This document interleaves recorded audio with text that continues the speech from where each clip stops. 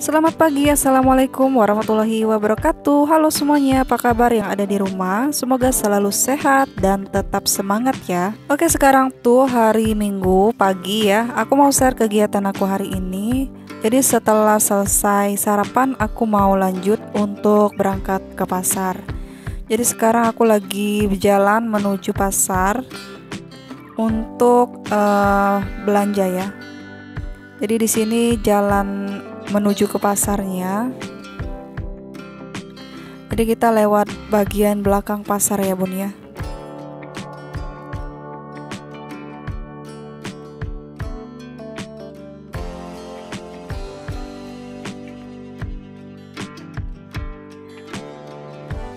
Nah, sekarang kita udah sampai. Jadi di bagian pinggir jalan itu berbaris bapak-bapak uh, yang jualan ayam. Jadi di sini kita mau nyari ayam dulu.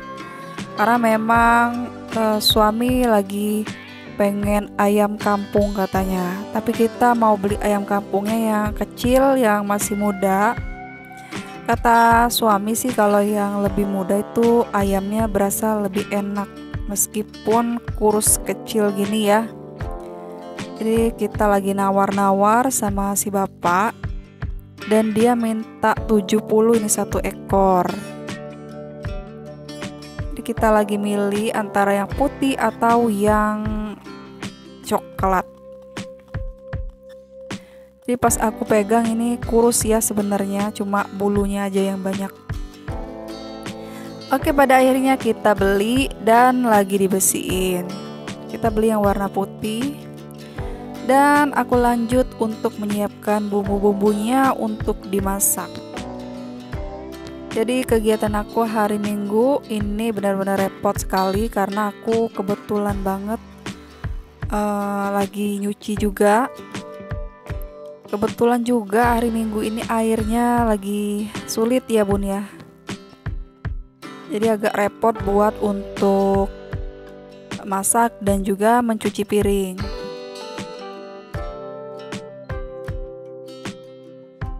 Seperti biasa kalau hari Minggu itu juga tetap repot ya namanya kegiatan ibu rumah tangga sehari-hari itu ya selalu repot lah pokoknya meskipun di hari libur.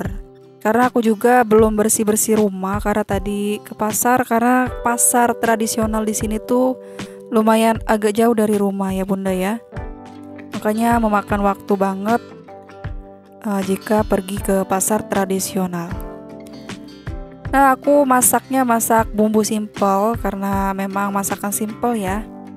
Jadi bumbunya juga cuma aku iris-iris aja ya Bunda ya. Bumbu lengkap seperti bawang putih, bawang merah dan juga e, bumbu dapur lengkap. Jadi simple banget kok untuk masak pindang ayam ini. Untuk bumbunya simple, paling untuk mencuci ayamnya itu yang menggunakan lumayan banyak air.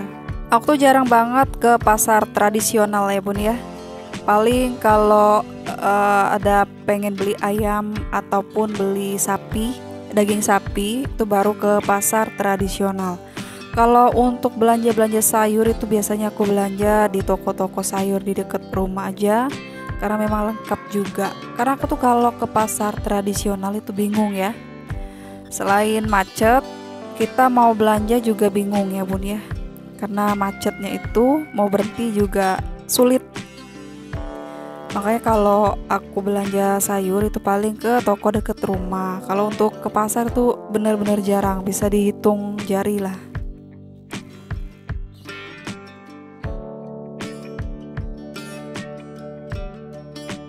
Jadi seperti inilah ya bun ya rutinitas ibu rumah tangga sehari-hari itu. Kalau kegiatan aku sendiri di rumah ya seperti ini aja ya bun ya, nggak jauh-jauh dari dapur pokoknya. Ya, jadi seperti inilah ya bun ya rutinitas ibu rumah tangga sehari-hari itu. Eh, sebagai ibu rumah tangga yang selalu sibuk melakukan semua kegiatan ibu rumah tangga di rumah, ngurus anak, ngurus suami, ngurus rumah, dan lain-lain. Uh, sebenarnya dikatakan bosen gak bosen sih bunda ya. Namun kita harus tetap bersyukur dan tetap semangat. Tapi yang namanya manusia biasa itu ada kalanya dan pasti ada ngeluhnya juga. Namun balik lagi ke rasa syukur kita tadi. Karena sebenarnya mau gimana pun itu pasti mau ibu bekerja ataupun ibu rumah tangga itu memang sama-sama uh, melelahkan. Hanya beda posisi pekerjaannya aja ya. Ibu rumah tangga pengen kerja karena merasa bosan melakukan semua pekerjaan di rumah yang begitu-gitu aja dan ngurus anak-anak kecil yang memang kadang bikin mumet dan begitu juga ibu yang bekerja uh, merasa pengen jadi ibu rumah tangga karena pengen selalu dekat sama anak.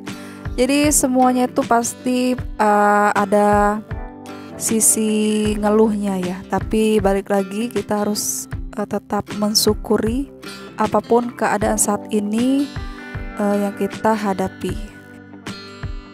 Nah, dengan rasa syukur, kita akan menikmati dan menjalani hidup kita dengan enjoy dan bahagia. Jangan lupa bersyukur ya, Bun, ya, untuk hari ini.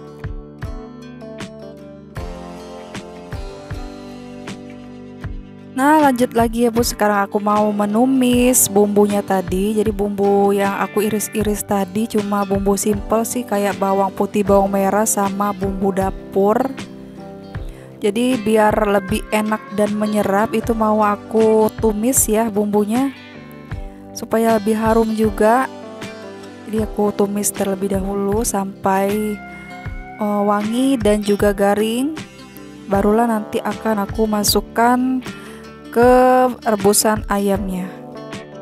Jadi untuk masak pindang itu simple banget. Apalagi ayam kampung yang memang udah rasanya udah enak banget ya. Agak berminyak-minyak. Jadi ditambahin bumbu yang seperti ini rasanya lebih mantap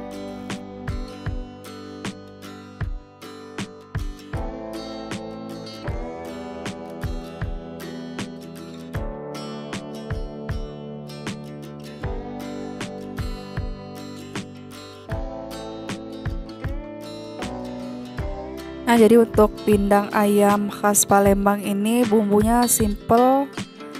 Jadi menu simple, cukup sama bumbu-bumbu dan uh, bumbu dapur yang lengkap. Udah cukup seperti itu aja. Jadi nggak perlu ribet-ribet lagi ngulek-ngulek juga nggak perlu. Cukup diiris-iris, ditumis, lalu kemudian masukin ke ayam yang direbus tadi. Nah, jadi demikianlah video aku kali ini. Terima kasih banyak banget udah nonton video aku sampai selesai. Dan mohon maaf banget masih banyak kekurangan dan kesalahan ya Bun ya di dalam uh, video aku ini. Mohon maaf dan jangan lupa ya support dengan klik tombol subscribe-nya, di like dan juga komen. Gak kalah penting juga di share.